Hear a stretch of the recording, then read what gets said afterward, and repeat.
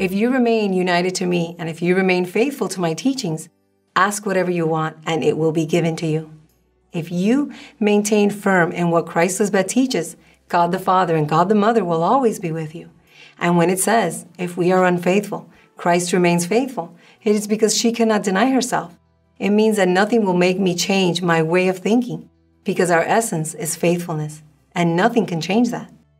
And you should see that as an example to follow so that you are always faithful because you can if you really want it.